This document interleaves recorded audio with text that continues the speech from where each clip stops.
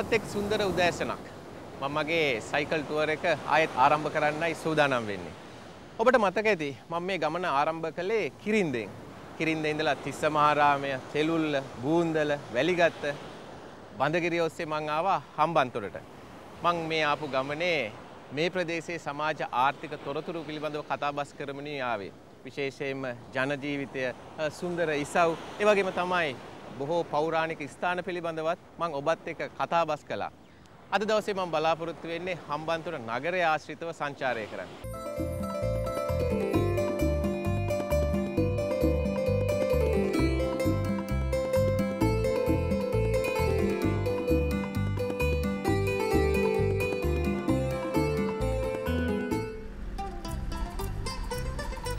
අද දවසේ මගේ පළමු සංචාරකී සව්ව වන්නේ හම්බන්තොට දීවර වරාය. නගරය අද්දරම පිහිට ඇති නිසා ඊට පහසුවෙන්ම ළඟාවිය හැකි වනවා. මන් දැන් ආවේ හම්බන්තොට දීවර වරායට. බොහොම කලබලකාරී ස්ථානයක්. දීවරයින් වෙළඳුන් නිරන්තරයෙන් ගැවසෙන ස්ථානයක්. මේ දීවර වරාය ආරම්භ කළේ 2008 වසරේ. ඒ වගේම තමයි මේ දීවර වරායට හෙක්ටයාර 12ක බිමක් අයිති වෙනවා.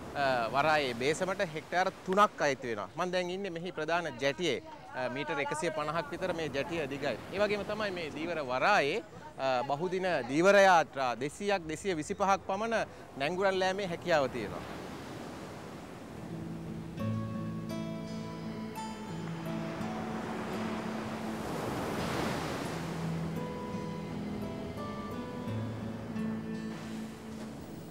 හම්බන්තොට නගරයට පැමිණෙන සංචාරකයන්ට නව සංචාරක අත්දැකීමක් ලබාගත හැකි ස්ථානයක් ලෙස දීවර වරාය හඳුන්වා දිය හැකි. බොහොමයක් බෝට්ටු වරායට පැමිණීම හා වෙළඳාම් සිදුවන්නේ උදෑසන.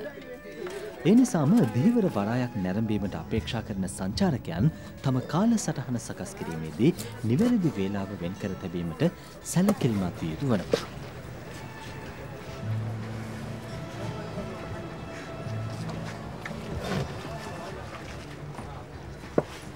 දීවර වරායක් කියන්නේ බොහොම කාර්යබහුල ස්ථානයක්. බෝට්ටු දීවර වරායට එද්දි වෙළඳුන් එනවා මාළු මිලදී ගන්න. දැන් මේ තියෙන්නේ එහෙම ආපු ලොරියක්. කොහොමද? හොඳයි මත්තම. හා. දැන් ඔයගොල්ලෝ කොහෙන්ද දාවේ? අපි තිස්සමාරාම ගියා. එතකොට දැන් මේ මාළු වරක් කොහාටද යන්නේ? අපි මොරාගල යන බිස්නස්. මොනරාගල යනවා. ඔව් මොරාගල තමයි බිස්නස් කරන්නේ. ඒ කියන්නේ ඔයගොල්ලෝ මාළු මොනරාගල ගිහලා විකුණනවා. ඔව් අපි විකුණන්නේ. එතකොට මේ මෙහෙම සතියේ කී දවසක් එනවද? දවස් තුනකට සැරයක් තමයි එන්නේ. ආ දවස් තුනකට සැරයක් ඇවිල්ලා මාළු වරයි යනවා. අද කොහොමද මාළු? හොඳයි මත්තම. ගණන් හොඳයි. ගණන් කියන්නේ පොඩ්ඩක් මිලා ඉදින් මාළු ඉතින් අර මොකද තුනටක් කරේ මෙදුන්නේ. ආ හා හා. ඒ නිසා දැන් බෝට්ටු යන්නේ නැහනේ. ආ හා. ඒ නිසා පොඩ්ඩක් මිලායි මාළුද. හරි හරි. ඒත් ඉතින් ජීවත් වෙන්න කරන්න බෑ ඉතින්.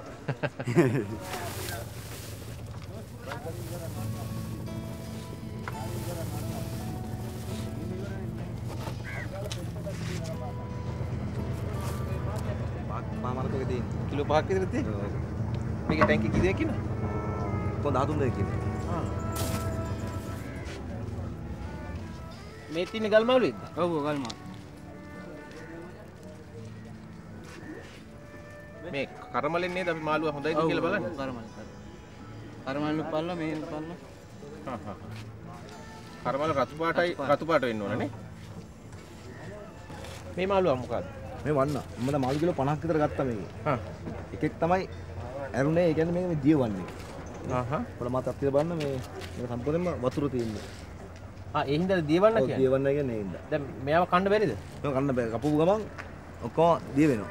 තනිකර වතුර වගේ තියෙන්නේ. කියන්නේ වන්න සවුත් වෙලා නැහැ. හා. හොඳ මාළු කරයියා. ඔව් ඒ කියන්නේ වන්නෝ අතර මේ දියවන්නෝ ඉන්නවා. දියවන්නත් ඉන්නවා. දැන් මාළු කිලෝ 50කින් මෙයා විතර තේරුනේ. හරි හරි. දැන් මෙයාට මොකද කරන්නේ? මේසුන් වතුර දානවා නැත්නම් ඉතින් කටට කටුකට කන්න දෙන්න. හරි. පුරයි. මාළුවා නේ. පුරයියා. මාළුවා හොඳයි නේ. එල්ලෑගෙන නැහනේ. මාළුවා අපුච්චි වෙලා ඉඳලා ගත්තා නම් වතුරට දානවා.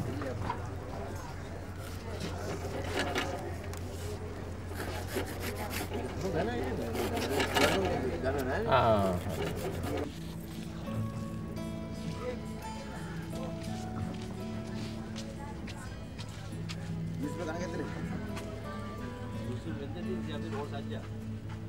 ප්ලේන් ටිකක්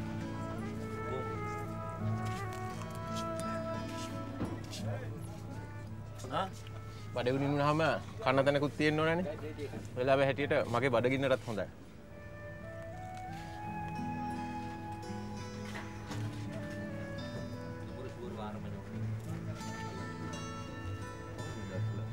මල් බිස්කුට්.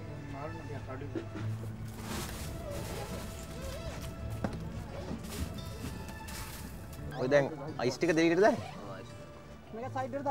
ඕන අයිස් අතුරනවා නේද? ආ.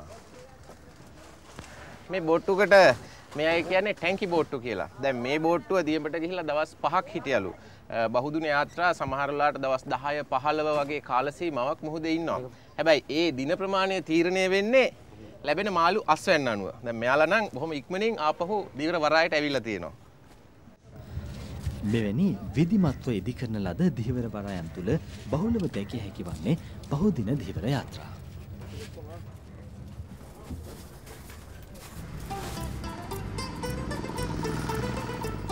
දීවර වරායට ආසන්නයේම ඇති වෙරළ තීරය බලා මං නැවතත් ගමන් කළා. විධිමත් දීවර වරායක් තුළ බහුදින දීවර යාත්‍රා බහුලව දැකිය හැකිවුවත් වෙරළ තීරයේ බොහෝ ස්ථානවල විවිධ ආකාරයෙන් දීවර කර්මාන්තය සිදු කරන අයුරු දැක ගැනීමට පුළුවන්.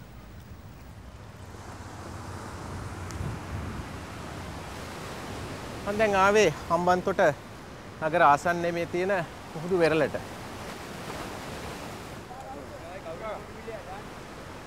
මං හොඳ වෙලාවට වෙල්ලට ආවේ. මේ ප්‍රදේශයේ දීවරයෝ මාදැලක් අදිනවා. ඇතැම් දීවරයෝ කරන්නේ මාදැල් රස්සා විතරයි. මේක මටත් හොඳ අත්දැකීමක්.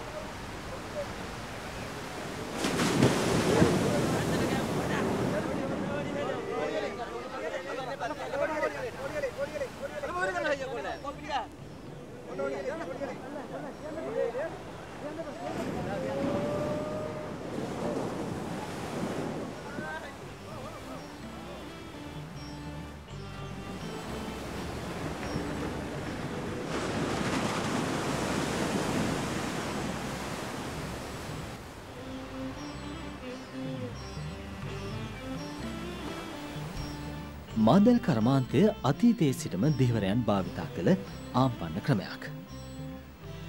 ශ්‍රී ලංකාව වටා මුහුදු තීරයේ දීවරයන් මාදැල් කර්මාන්තය නිරත වනවා. මාදැල් සඳහාම වෙන් වූ ස්වාභාවික දීවර වරයන්ද සමහර ප්‍රදේශවලදී දැක ගැනීමට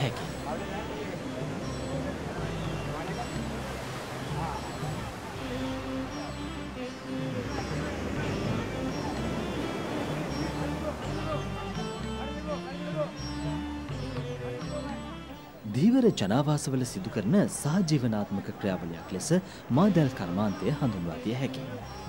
මින් ලැබෙන ප්‍රතිලාභ සහභාගි වූ සියලු දෙනාටම හිමි වෙනවා.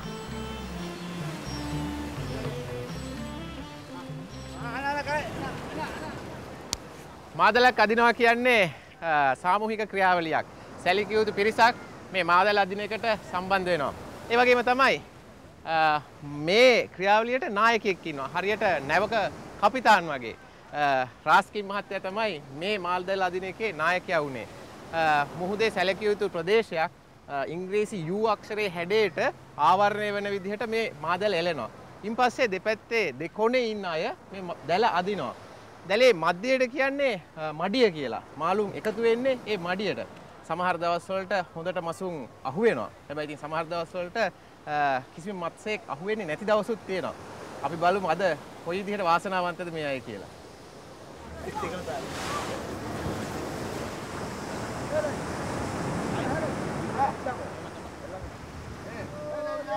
මාදලක් නම් කොච්චර වෙලා යනවද අදින්? පැය තුනක් යනවා හරියට. පැය තුනක් යනවා. ඔව්. දැන් මේ පොඩි දැල හින්දා ඉක්මනට ආවේ නේ. ඔය ඉක්මනට ආව පැය භාගෙ ගන්න ඉස්සර ආවා. කොට කොට දැල් වගේ දැලක්.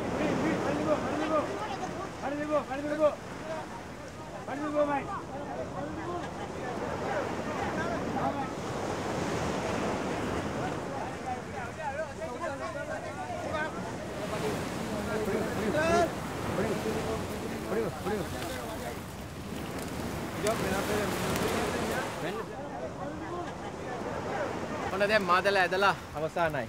කට්ටිය බලාපොරොත්තු වුණු මට්ටමට නම් මාළුන් අහු වෙලා නැහැ. මේ ටිකේම මේ විදිහලු. උද එච්චරම උදව් කරන්නේ නැහැ අපේ දීවරයින්. අතේ ඉතින් කිරමාගෙන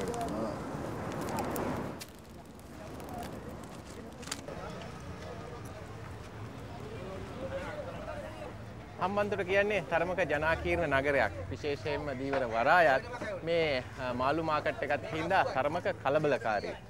ඒ වගේම හම්බන්තොට පැරණි වරායක් පදනම් කරගෙන දිනු වූ නගරයක්. ඉන්දියන් සාගරයේ ගමන් කරපු නෞකා නිතර ආගිය නැව් තොටක්.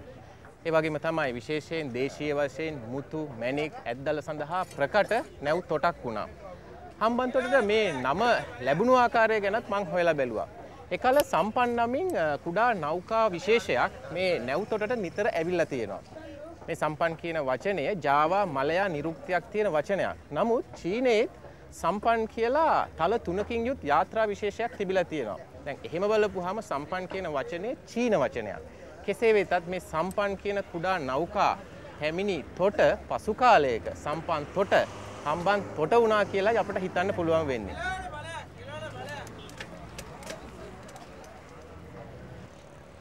තැමිලි ගෙඩියක් අපමුද අයියා? හම්බන්තොට කියන්නේ ශුෂ්ක කලාපයේ පිහිටලා තියෙන නගරයක්. දවල් වෙද්දි ඉන්න බෑ පුදුම රස්නයක්. තැඹිලි කියන්නේ අඩු මුදලට බොන්නත් පුළුවන්. ඒ වගේම පිරිසිදු බීමක්නේ.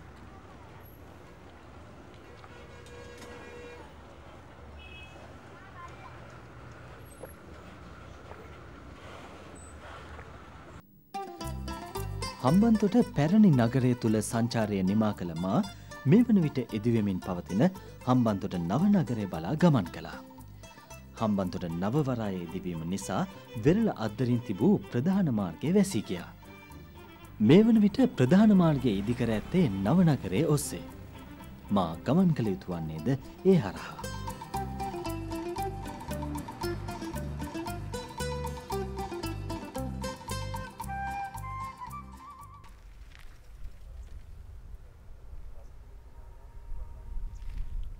හම්බන්තොට නවනගරයේ ඉදිවෙන ජාත්‍යන්තර සම්මන්ත්‍රණ ශාලා පරිශ්‍රයයි මේ. අපිට ජාත්‍යන්තර මට්ටමේ සම්මන්ත්‍රණ ශාලාවක් තියෙන කොළඹ. ඒ තමයි බණ්ඩාරනායක ජාත්‍යන්තර සම්මන්ත්‍රණ ශාලාව. ඉන් පසුව කොළඹින් පිටත ඉදිවෙන දැවන්ත නිර්මාණයයි මේ.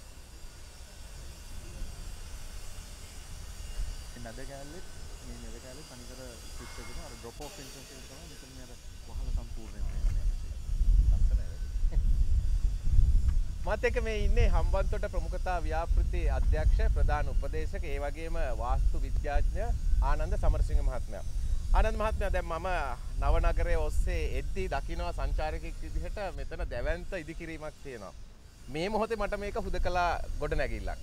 අපි මේකේ විස්තරාත්මකව කතා කළොත් ඔව් ඇත්තට මේ මොහොතේ ද- බැලුවොත් මේක හුදකලා ගොඩනැගිල්ලක් වශයෙන් පෙන්눔 කරනවා. නමුත් අ, සම්පූර්ණයෙන්ම ජාත්‍යන්තර වරාය, ජාත්‍යන්තර ගුවන් තොටුපළ, ඒ වගේම වාණිජ කලාපය, ඒ වගේම සංචාරක කලාපය, අ, එහෙම නැත්නම් අපි ඉදි කරලා අවසන් කරලා තිබෙන අ, පරිපාලන අ, කේන්ද්‍රය අ, සහ අනිකුත් ව්‍යාපෘතීන් සමග සියල්ලම ඒකරාශී වෙලා අ, සියල්ලම වැඩ කටයුතු අවසන් වුණාට පස්සේ මෙම අ, ජාත්‍යන්තර සම්මන්ත්‍රණ ශාලාව වෙන්නේ සංවර්ධන ව්‍යාපෘතිවල කේන්ද්‍රස්ථානයක් හැටියට. ආනන්ද මහත්තයා අපි දැන් අ, අනාගත සංචාරක ව්‍යාපාරයත් එක්ක මේ සම්මන්ත්‍රණ ශාලාව මොන ආකාරයෙන්ද වැදගත් වෙන්නේ? අ, මෙහිදී අපි බලාපොරොත්තු වෙන්නේ අ, සංචාරක ව්‍යාපාරය ආශ්‍රිත වූ සම්මන්ත්‍රණ සඳහා වූ විශේෂ ජාත්‍යන්තර සම්මන්ත්‍රණ ශාලාවක් ඉදිකිරීමට. එහිදී අ, මම හිතන්නේ විශේෂයෙන්ම ජාත්‍යන්තර ගුවන් තොටුපළ සහ ඒ වගේම අ, මේ ල- මේ ප්‍රදේශය අවට තිබෙන අනිකුත් සංචාරක කලාපයන් විශේෂයෙන්ම යාල ප්‍රදේශය සහ මේ වගේම මේ අවට ඉදිවන අ, මම හිතන්නේ තරු අ, පහේ අ, හෝටල් ව්‍යාපෘති මේ සඳහා විශේෂ පිටුවහලක් වෙයි. ඒ වගේම මෙම අ, ජාත්‍යන්තර සම්මන්ත්‍රණ ශාලාව විශේෂ කේන්ද්‍රස්ථානයක් වෙයි. ආනන්ද මහත්මයා දැන් මට මේ සම්මන්ත්‍රණ ශාලාවේ ආකෘතියයි ඒ වගේම මෙහි සැකැස්මයි පිළිබඳව විග්‍රහ කළොත් ප්‍රධාන වශයෙන්ම ගත්තොත් අ, මෙම සම්මන්ත්‍රණ ශාලාවේ අ, කොටස් කිහිපයකින් සමන්විත වෙනවා. විශේෂයෙන් මම හිතන්නේ මෙහිදී අ, මම පේන අර පහළ ප්‍රදේශයේ තිබෙන අ, කොටස ආසන 1500කින් පමණ සමන්විත වෙන ප්‍රධාන සම්මන්ත්‍රණ ශාලාව. මෙතනින් ඔබට තියෙන ආසන 250කින් විතර සමන්වන අනුකම්පිත ශාලා අ, තුනක් ඒ වගේම කුඩා ප්‍රමාණයේ අනුකම්පිත ශාලා 9ක් ප්‍රධාන වර්ගයේ ආපන ශාලා 3ක් සහ ඒ හා සබැඳුණු සියලුම පහසුකම් වලින් මේ ආ, ජාත්‍යන්තර සම්මන්ත්‍රණ ශාලාව සමන්විත වෙනවා.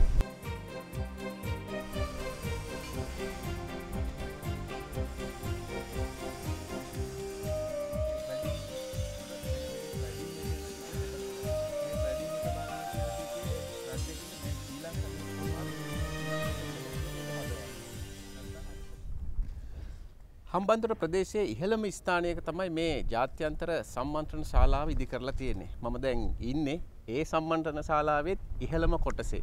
මෙතන බොහොම අපූරු නැරමුම් ස්ථානයක්. මොකද මුළු හම්බන්තොට ප්‍රදේශයම මෙතනට ආපුහම පේනවා.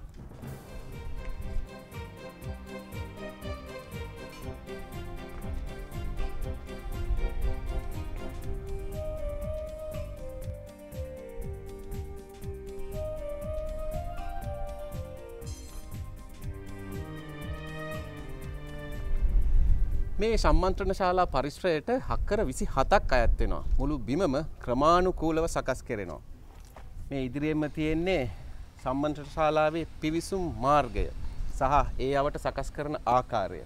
වාහන නවතා තබන තැන් ඒ වගේම එලිමහන් රංගපීටයකුත් මේ අතදිගුවෙන මානය ඉදි වෙනවා.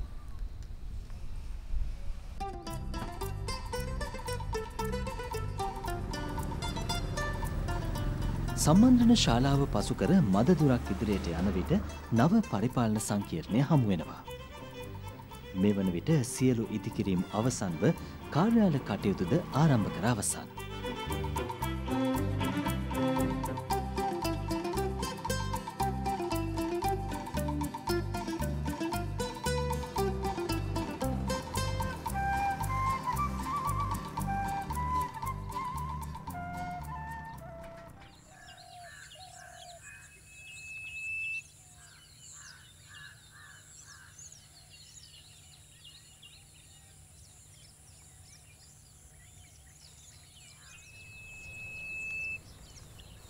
ලංකාව පුරා සංචාරය කරද්දී අපි දකින පොදු ලක්ෂණයක් තමයි රාජ්‍ය ආයතන එක්ක ගනුදෙනු කරද්දී මහජනතාවට තමුන්ගේ ප්‍රදේශයේදී වුණත් තැන් තැන්වලට යන්න සිද්ධ වීම. හැබැයි හම්බන්තොට ජනතාවට නම් දැන් ඒ විදිහට තැන් තැන්වල යෑමේ අවශ්‍යතාවයක් නැහැ. මොකද සියලුම රාජ්‍ය එක්තැන් කරලා නිර්මාණය කරපු ප්‍රධාන පරිපාලන සංකීර්ණය තමයි මේ තියෙන්නේ. මේ බිමේ සියලුම රාජ්‍ය ආයතන එක්තැන් කරලා තියෙනවා. දැන් හම්බන්තොට ජනතාවට ඉතාමත්ම පහසු තත්ත්වයක් උදා වෙලා තියෙන.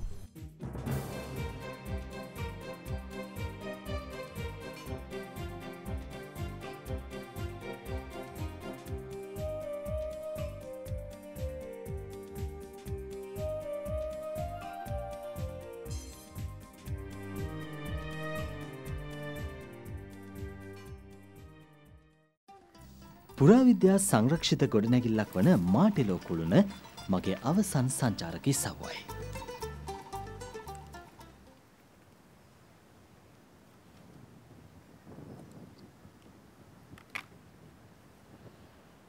හම්බන්තොට ඇති සංචාරක ස්ථාන අතරින් ප්‍රචලිත ස්ථානයක් තමයි මේ මාටෙලෝ කුළුණ. වරාය අද්දරින් තියෙන තානායම දෙසට යන පවහිල් පාරෙන් ආවට පස්සේ තියෙන කඳු ගැටේ මත තමයි මේ මාටලෝ කුළුණ පිහිටලා තියෙන්නේ.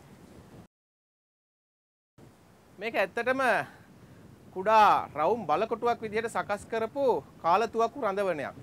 එක්දා සත්සය අනුහයේ බ්‍රිතාන්‍ය ජාතිකයින් ලංකාව ආක්‍රමණය කළත් එක්කම් වගේ ඉදිකර ලද බලකොටුවක් තමයි මේක.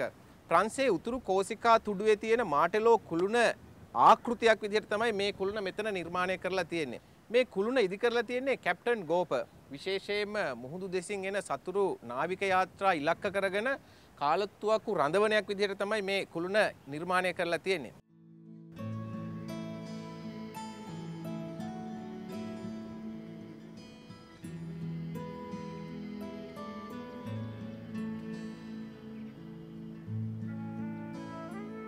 මේ කුළුණ අද්දරම තමයි පැරණි ප්‍රදීපාගාරයත් පිහිටලා තියෙන්නේ.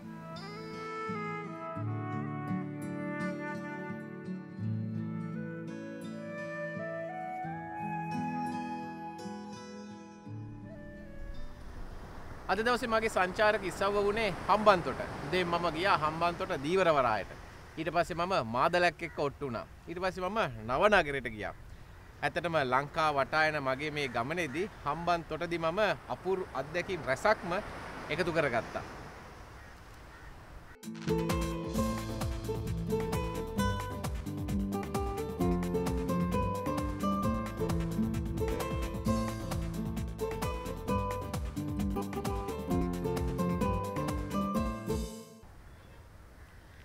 අද රාත්‍රියේ මම ගත කරන්නේ හම්බන්තොට. මගේ හම්බන්තොට සංචාරය තවම ඉවර කළේ නැහැ. ඊළඟ දවසේ මම මේ හම්බන්තොට ආවට අනෙකුත් සංචාරක ඉසව් ඔස්සේ ගොඩවාය දක්වා යන්න බලාපොරොත්තු වෙනවා. හැබැයි ඉතින් ඒ තොරතුරුත් එක්ක මම ඔබ මුණ ගැහෙන්නේ ඊළඟ දවසේ